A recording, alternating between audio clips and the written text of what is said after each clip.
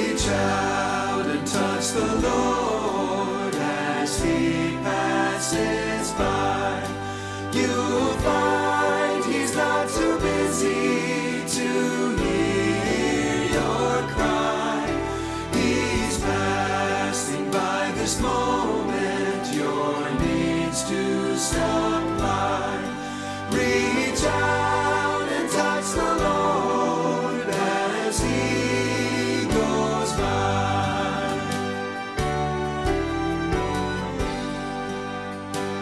Tonight, let's take our Bibles and turn in the Old Testament to Psalm 111.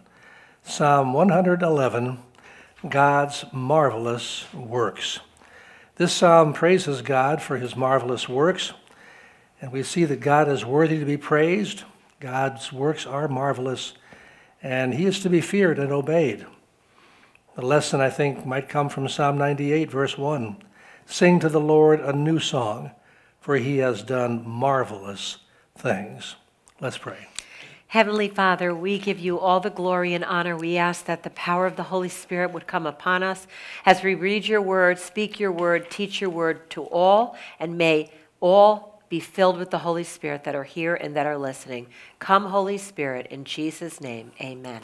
Amen and amen. Psalm 111. Remember now, all these psalms are songs. That's what a psalm is a song.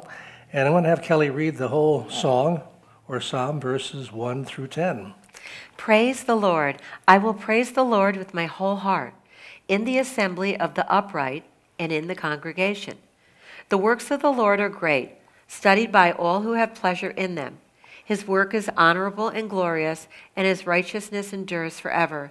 He has made his wonderful works to be remembered. The Lord is gracious and full of compassion. He has given food to those who fear him. He will never be mindful of his covenant. He has declared to his people the power of his works, in giving them the heritage of the nations. The works of his hands are verity and justice. All his precepts, precepts are sure. They stand fast forever and ever, and are done in truth and uprightness. He has sent redemption to his people. He has commanded his covenant forever. Holy and awesome is his name. The fear of the Lord is the beginning of wisdom. A good understanding have all those who do his commandments. His praise endures forever. Psalm 111. Praise the Lord. Hallelujah. And that's what it means in any language. Hallelujah. And here we see that in the very first verse, God is worthy to be praised.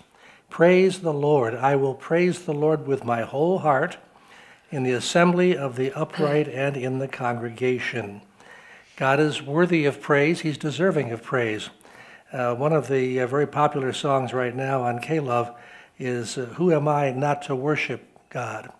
Uh, he has made the heavens, the earth, the stars do not shine unless he tells them to. And who am I not to worship God? The height of ego and pride is to think, I don't need to praise God. He's worthy of it, he deserves it. Hallelujah. Praise the Lord. And I will praise the Lord doesn't mean that necessarily that I feel like it. Sometimes I don't feel like it. This is not a matter of, of if you feel like it, it's a matter of will. I will do it. I will do it because God deserves it. And uh, sometimes he calls it a sacrifice of praise.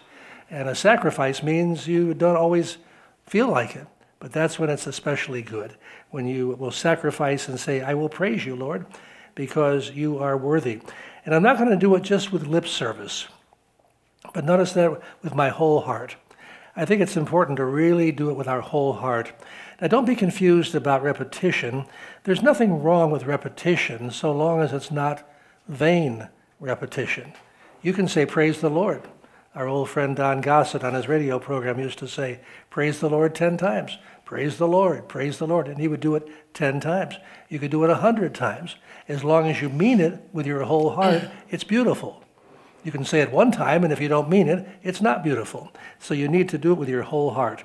So I will indicates it's not a question of whether I feel like it, it's a command to myself. Self praise the Lord.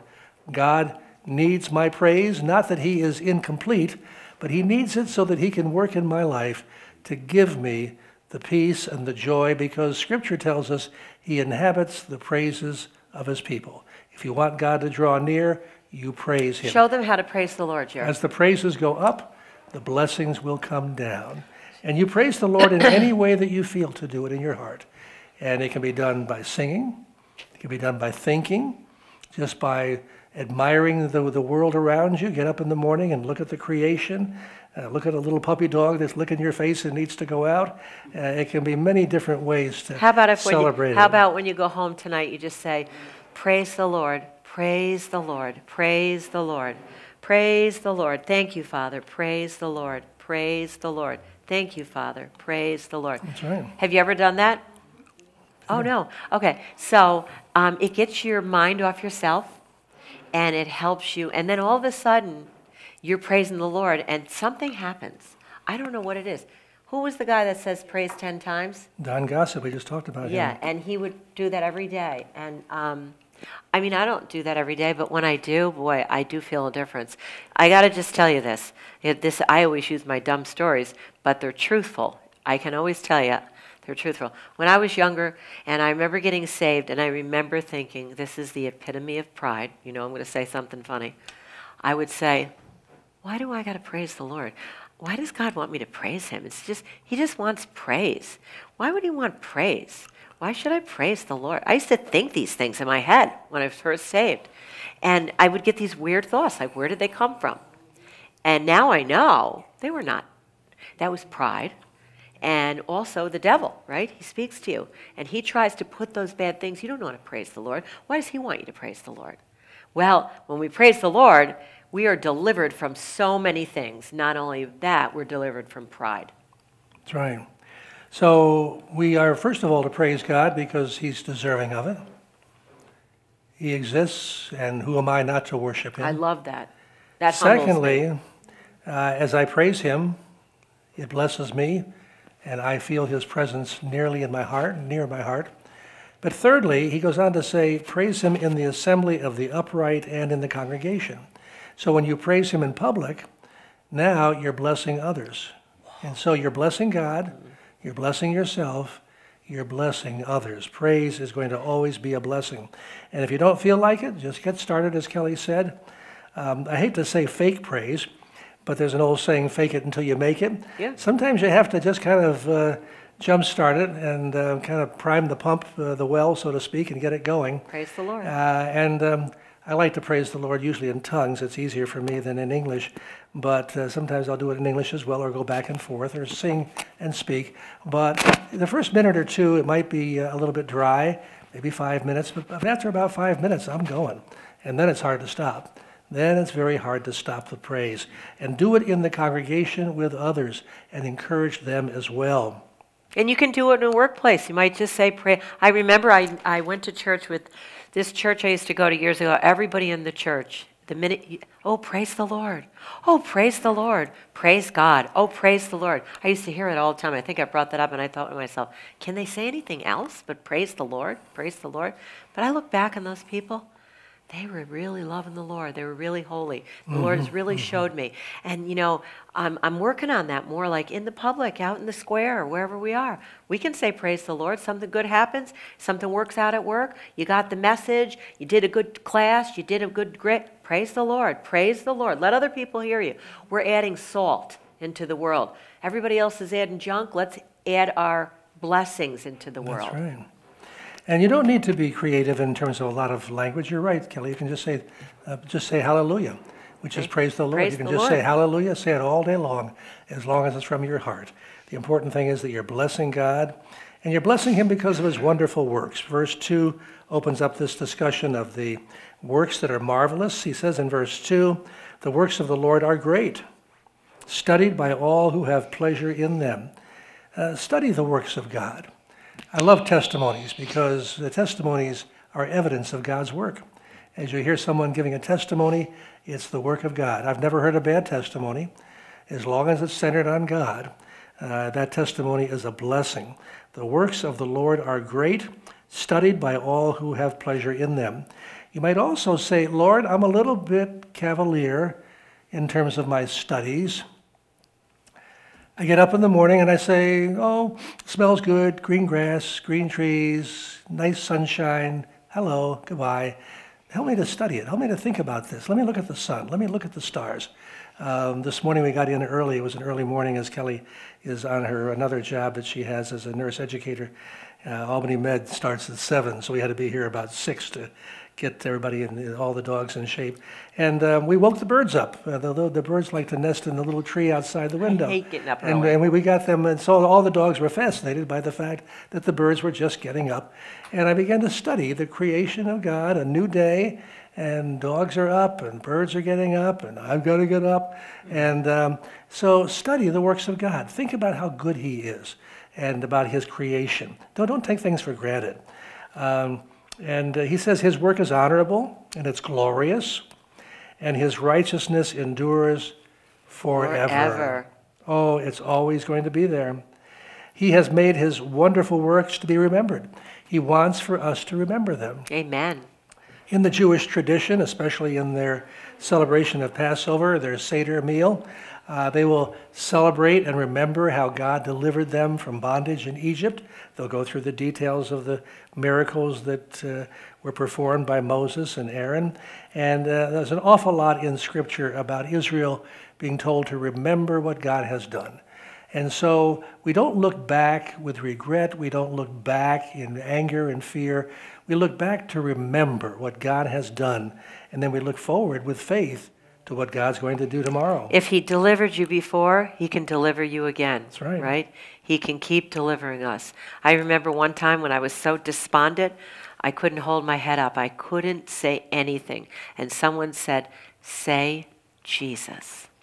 And I fell out of my bed on my knees because I didn't even have the strength. And I just kept saying, Jesus, Jesus. There's times that life has get that bad. That's right. Right. But God got me through it. And I look back and I'm like, I hear people today, they get depressed, and I'm like, wow, God really delivered me. God is so good. right. So good. He's the answer to everything. Everything is getting so complicated now.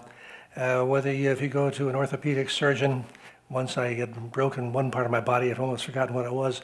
I guess it was the it was the elbow, and I smashed it in hundreds of pieces, and um, took a bad fall on the, uh, the the pavement out there on the road, and um I went over to one of the orthopedic uh, places, and they sent a doctor up and. Uh, uh, oh, it's the elbow. That I don't do elbows. Uh, he does. He does another part of the body. So I had to get somebody else. They're all, all specialists, and that's fine.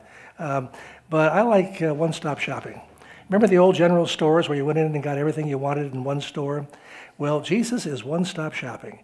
He will take care of any need that you have. And Kelly and I and you have the easiest job in the world.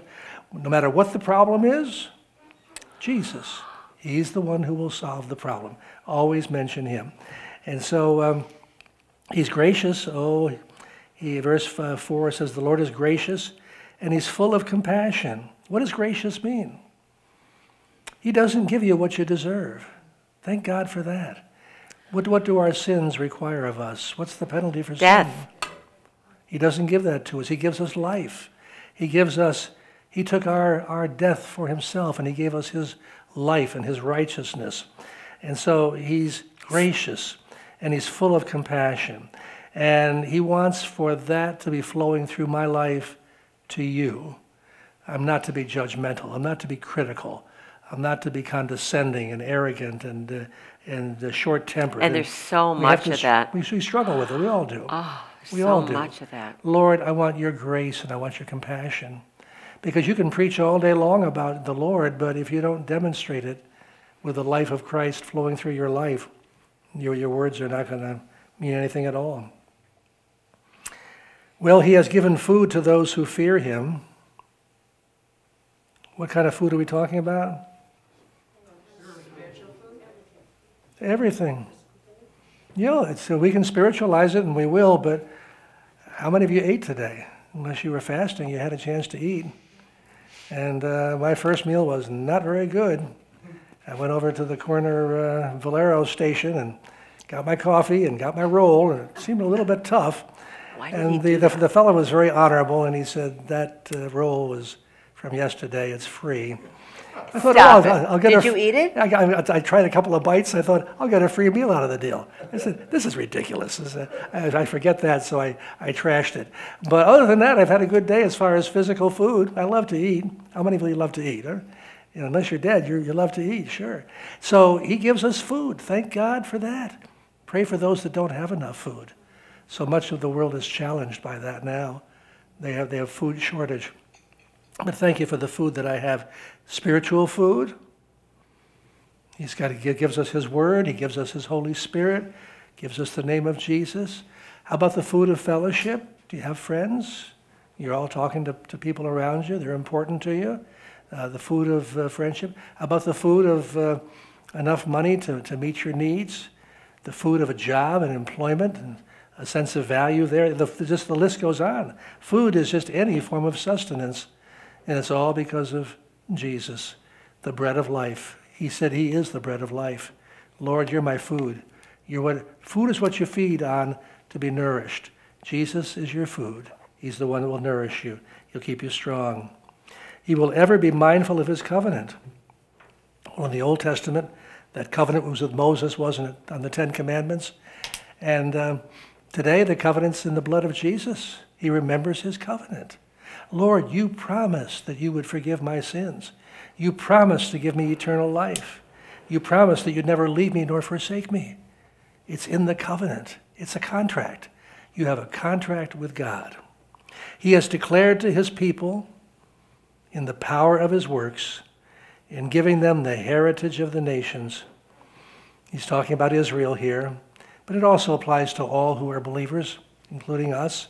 He has declared to his people the power of his works. He wants you to know the power of his works. He is omnipotent, all powerful. There's nothing he cannot do. And he is going to give them the heritage or the inheritance of the nations. And this is going to happen for Israel. It's not happening right now. Israel is struggling, as you know, even in its very existence.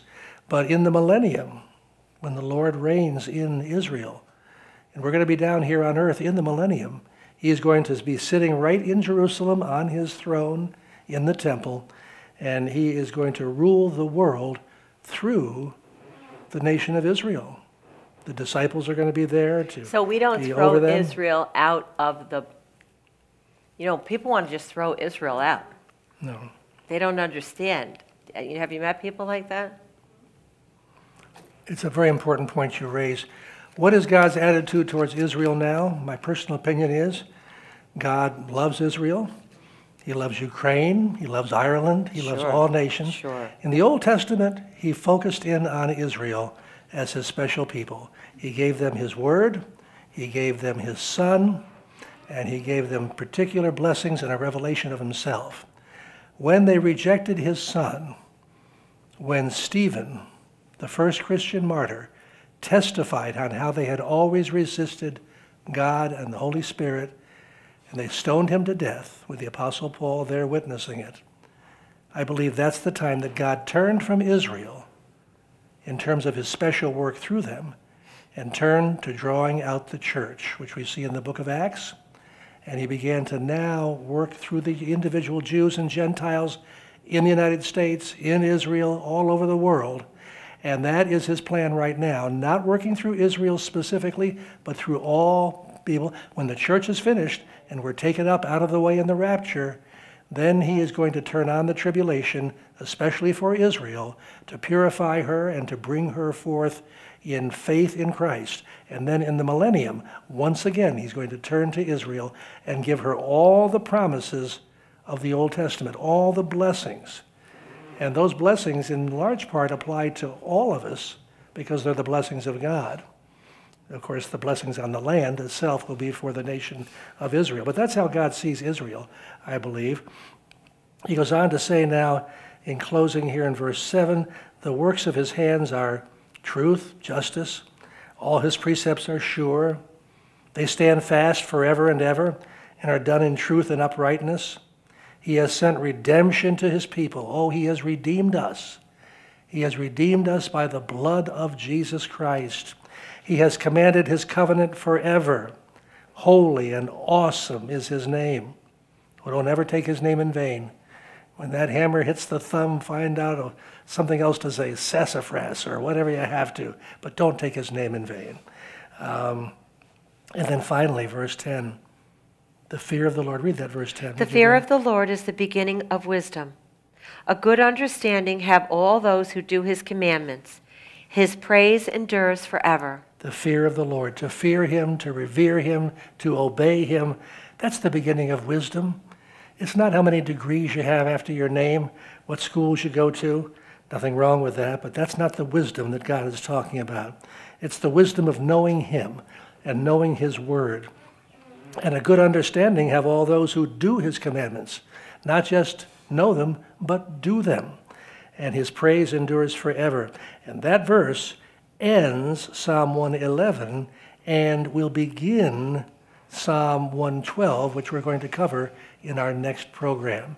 And so Kelly's going to close us out now in prayer, and we'll come back in a few moments and continue with Psalm 112. Thank you, Father. We know that you are um, a great God. You are the only true creator and father of this universe, our God. We love you, Father. We praise you. We thank you for what you've taught us tonight. In your name we pray. Amen. Amen and amen. God bless you. Until the next time, shalom, shalom. Shalom, shalom.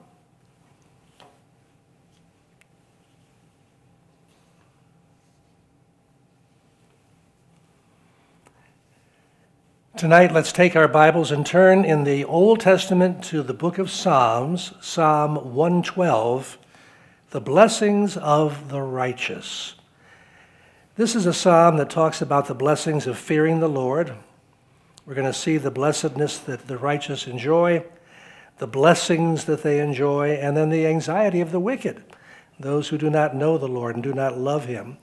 Righteousness is given through faith in Jesus Christ to all who believe, according to Paul in Romans chapter 3, verse 22. The blessings of the righteous. Kelly's going to open us in prayer. Heavenly Father, we thank you and praise you, Lord, and help us, Lord, tonight as we hear this psalm, Psalm 112. Help us to be encouraged to live righteous.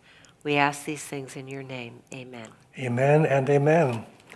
In our previous program, we finished with uh, verse 10 of Psalm 111 and uh, these are companion songs, companion psalms. Uh, Psalm 111 talks about the righteous works, the marvelous works of God. And uh, Psalm 112 parallels that, talking about those who are righteous and how blessed they are when they do his commands. So the closing verse of Psalm 111, I'm going to have Kelly read that, verse 10. The fear of the Lord is the beginning of wisdom. A good understanding have all those who do his commandments. His praise endures forever. So the fear of the Lord is the beginning of wisdom. That's when you really become wise. When you fear the Lord, you honor him, you obey him. A good understanding have all those who do his commandments. It's not enough just to read the word, but you need to do the word. And then his praise endures forever. Now, in our psalm for, for tonight, Psalm 112, I'm going to have Kelly read uh, the, the 10 verses here, and then we're going to talk about those. Blessed is the man who, oh, praise the Lord. Praise the Lord. Blessed is the man who fears the Lord, who delights greatly in his commandments. His descendants will be mighty on earth. The generation of the upright will be blessed. Wealth and riches will be in his house, and his righteousness endures forever. Unto the upright there arises light in the darkness. He is gracious and full of compassion and righteous. A good man deals graciously and lends. He will guide his affairs with discretion. Surely he will never be shaken. The righteous will be in everlasting remembrance. He will not be afraid of evil tidings. His heart is steadfast, trusting in the Lord. His heart is established. He will not be afraid until he sees his desire upon his enemies. He is dispersed abroad. He is given to the poor. His righteousness endures forever. His horn will be exalted with honor. The wicked will see it and be grieved. He will gnash his teeth and melt away. The desire of the wicked shall perish.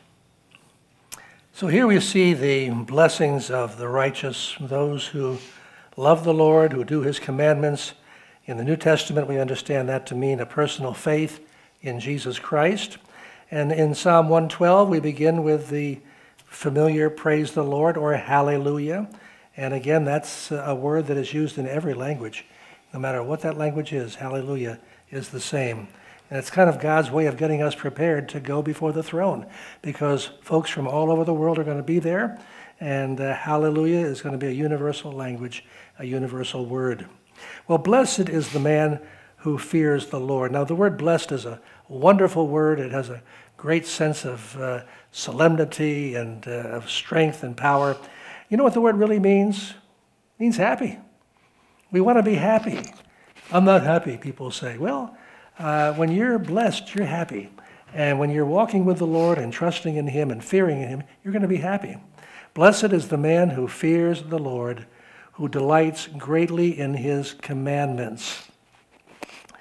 Now, the word fear, it doesn't mean we have to walk around shaking, waiting for the other shoe to drop, although the word uh, in the Hebrew does indicate to be afraid. And it's kind of like in the New Testament. Some commentators are afraid to talk about the word fear, and they say, well, it doesn't mean fear, it means reverence. Well, it really means yeah. both. Um, in the New Testament, the word in, in the Greek is phobos, and they use the word phobia. That's not just reverence, that's also fear. So it's much like it was in my household. I don't know about your household, but my mother was the one who pretty much ran the house.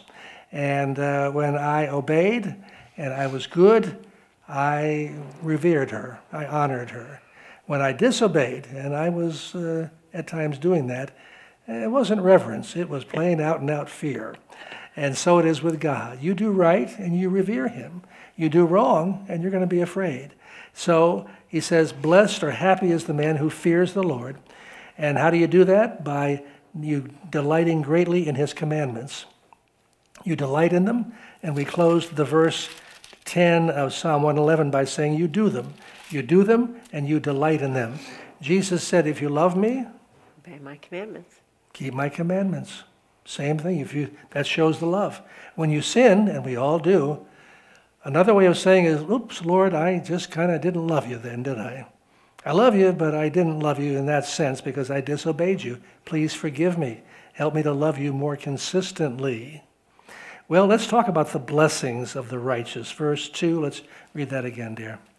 His descendants will be mighty on earth. The generation of the upright will be blessed. So when you're blessed, do you have children? Do you have grandchildren? Do you want them to be mighty on the earth? Do you want them to be blessed and happy? Then live for the Lord.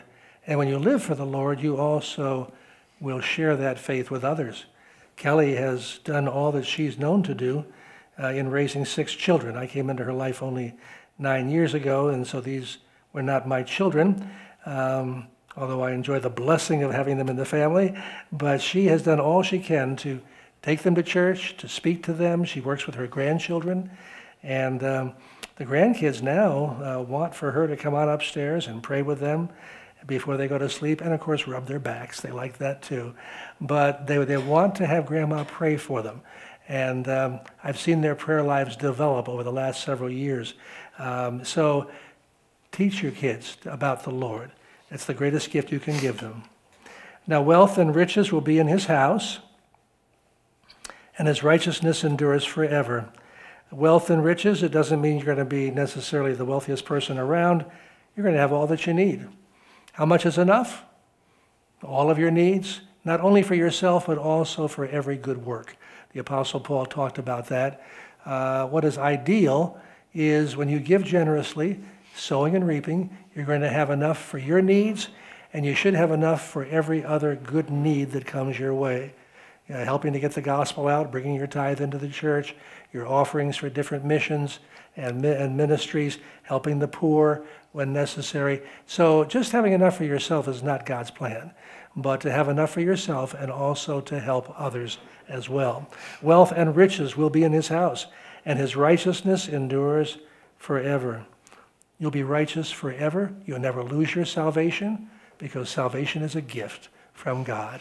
It's a gift through the blood of Jesus Christ. Unto the upright there arises light in the darkness. Oh, that's important, isn't it? For those who are upright, the world seems dark at times, doesn't it? We talked about that earlier this evening. It seems very, very dark. But um, light comes upon the scene. And what did Jesus say about light? He said, I am the light of the world. And he said, You also are going to be light because of the light that's in us through Christ. And you and I become that light in the darkness. And as it gets darker, what happens to that light? It shines brighter, doesn't it? It shines brighter. They told the soldiers, uh, the American soldiers in World War II, not to even light a cigarette when they were near the enemy, that a cigarette could be seen for several miles away. Wow. Uh, and so uh, a light in the dark place, I don't care how dark it gets, you let your light shine. This little light of mine, I'm going to let it shine. People will see it. Unto the upright there arises light in the darkness. He is gracious and full of compassion and righteous. He's gracious. Get up tomorrow morning and say, Lord, thank you for being gracious. It's cute. Thank you for being uh, uh, compassionate, for being righteous to me, Lord. I appreciate it. Well, what are the evidences of being righteous? Verse 5. A good man, a good man deals graciously and lends. He will guide his affairs with discretion. So, one of the evidences that you have when you are righteous is that you have enough uh, for your needs and you deal graciously with others. And uh, sometimes you lend as the Lord leads, but uh, be careful, make sure that it's of the Lord, and that. Um, and, uh, and if you don't get paid back, that's something you have to work on. We all have to work on that, don't we? We've all uh, lent, uh, especially in the families. And, and the kids love to say, Can I borrow? Now, again, I never raised children. She's got six of them and she's got grandkids. What does that mean? I, don't have, I have no idea what that means. Can I borrow? What does that mean uh, as far as paying back? a good man deals graciously and lends. He will guide his affairs with discretion. The affairs of your life need to be with discretion, to be carefully discreet, carried out, and that means laid out before the Lord and guided and directed by the Lord. Surely he will never be shaken. When you walk with Christ and your affairs are in his hands, you're not going to be shaken. The righteous will be in everlasting remembrance. They're going to remember you forever and ever, not here on earth necessarily, but in heaven. Here on earth, they'll, they'll forget about you or me in about three generations. Your kids will know you, your grandkids will know you, your great grandkids will know, probably know your name. After that, probably not at all. That's it. That's about it. It's true. Um, but true. in heaven, it'll be forever. It'll be forever, and your name will be there forever and ever and ever. Uh, and what you've done for the Lord, your rewards, your crowns. Let's read verse 7. He will not be afraid of, evil tidings. His heart is steadfast, trusting in the Lord. His heart is established. He will not be afraid until he sees his desire upon his enemies. When, you, when you're walking with the Lord, you're not going to be afraid of evil tidings. What kind of evil tidings are we talking about? They could come in any form medical report, financial report, relationship situation, um, pandemics, all kinds of things in this world can come. Kelly starts off her day every day with Psalm 91, protecting herself against the pestilences and the attacks and the evil reports and affairs of, of this world. Um, but you're not going to be afraid of evil tidings because your heart is steadfast and you're trusting in the Lord. That's the connection. If you're not trusting in the Lord, then you'll be afraid. But fear and faith cannot exist together, can they? Either you're in fear or you're in faith. If you're trusting in the Lord, that's faith, and there's no fear. His heart is established. He will not be afraid until he sees his desire upon his enemies. Well, in the Old Testament, they were worried about their enemies and they cursed them, wanted to defeat them. If we have somebody who's an enemy in our lives, we're supposed to pray for that individual. We're not talking about a national attack like Hamas against Israel. That's enemies have to have force met with force unless you're a pacifist. Um, but we're talking about enemies in your own life. It can be the devil, it can be uh, uh, the enemies of, of, another person, your own thoughts. Um, God's going to give you the victory in every one of those areas that you trust in Him. Amen. Now, here's a quote. My Bible does not give a cross reference, but I'll, I'll give you one in just a minute. Let's read verse 9 and 10. He has dispersed abroad, he has given to the poor, his righteousness endures forever. His horn will be exalted with honor. The wicked will see it and be grieved. He will gnash his teeth and melt away. The desire of the wicked shall perish. Now, the righteous person is going to be generous. Verse 9 He has dispersed abroad, he has given to the poor, his righteousness endures forever. And the Apostle Paul picks up that quote in 2 Corinthians chapter 9. He's getting a gift together for the poor, the starving in Jerusalem, and he's encouraging the Corinthian church to be generous in their giving. In addition to your tithes, bring in an offering for the poor. There are three kinds of giving. There's the tithe, which is the 10% that really is a returning that to the Lord. There's offerings over and above that in helping God to get the word out worldwide. And then there's alms for the poor. And he's talking about uh, the kind of giving we should have in 2 Corinthians 9 and verse 6. He talks about the cheerful giver. But this I say He who sows sparingly will also reap sparingly, and he who, bount- who sows bountifully will also reap bountifully. So let each one give as he purposes in his heart, not grudgingly or out of necessity or of in a necessity, for God loves a cheerful giver. And God is able to make all grace abound towards you, that you, always having all sufficiency in all things, may have an abundance for every good work. As it is written, He has dispersed abroad, He has given to the poor, His righteousness endures forever. So there's that quote from Psalm 112 that we're considering here. And that when you're giving, whatever form of giving it is, uh, you're to sow, excuse me, bountifully, not uh, sparingly, uh, much like grass seed. I've got some bare spots uh, here at the church and also at home where uh, some grass seed needs to be applied, if not now in the springtime. And um, I have a decision to make on how I want to sow that area. You've all sown seed. You've got a patch, it could be a matter of a couple of yards by a couple of yards, and you can take one seed and put it here and measure with a ruler 12 inches and put another seed there. And uh, what are you going to have? Not much. Not much. You get a couple of stalks, and that's about it. Or you can sow generously, and you're going to have a, a good harvest of seed. So it is financially. And it's going to be a fulfillment. Notice verse 8, he says, God's able to make all grace abound toward you, all grace, not just financial, that you always having all sufficiency in all things. God, first of all, wants to take care of you. That's not the end, but that's the beginning. He wants all your needs met. How much is enough? Everything that you need. But you're going to have also an abundance for every good work because God wants to get the gospel out around the world. And guess what? That costs money, that costs effort, people, and uh, salaries, and what have you. Verse 9, and he quotes, he, he has dispersed abroad, given to the poor, and the righteousness, the remembrance in heaven, is going to endure forever. Somebody once said, You can't take it with you. But send it on ahead. But you can send it on ahead. And you can't take your money with you, but you can send it on ahead by the good investment that you have here on earth in kingdom work. Whatever money you put into the kingdom through your tithes, your offerings, and your alms are remembered in eternity. What about mercy? Now that's another thing. You can go beyond the area of mercy of uh, money. Mercy. You sow mercy, you're going to receive mercy. It's going to be bountiful. The rewards are in heaven. Grace, your time, your care, your compassion.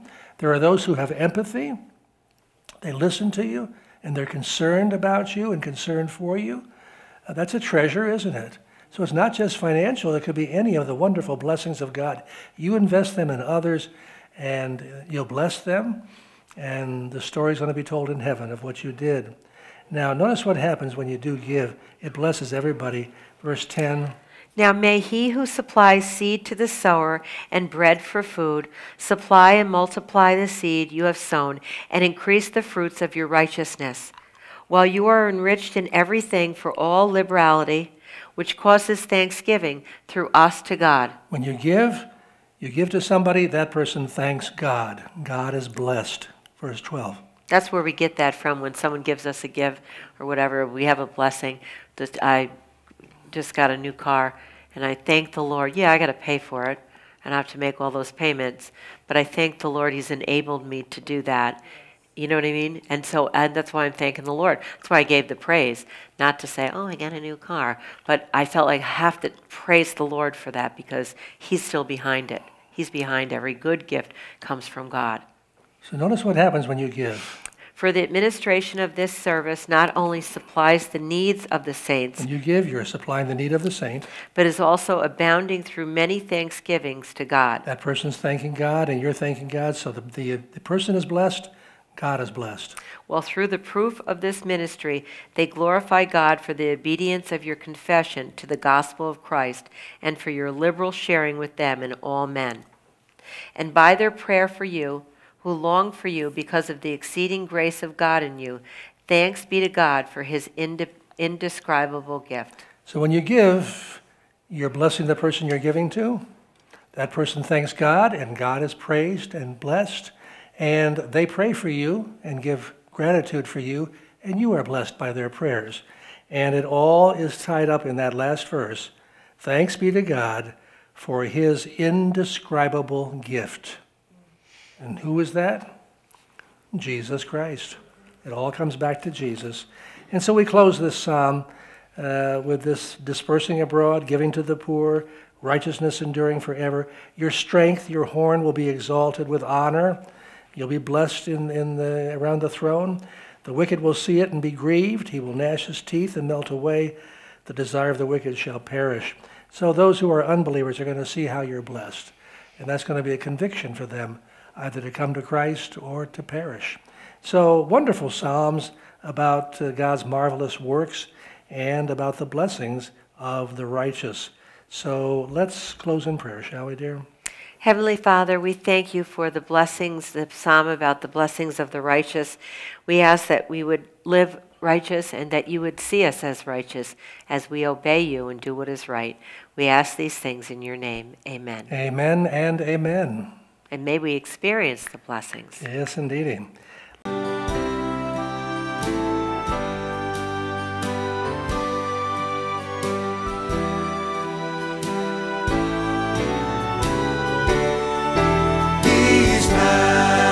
By this moment, your needs to supply.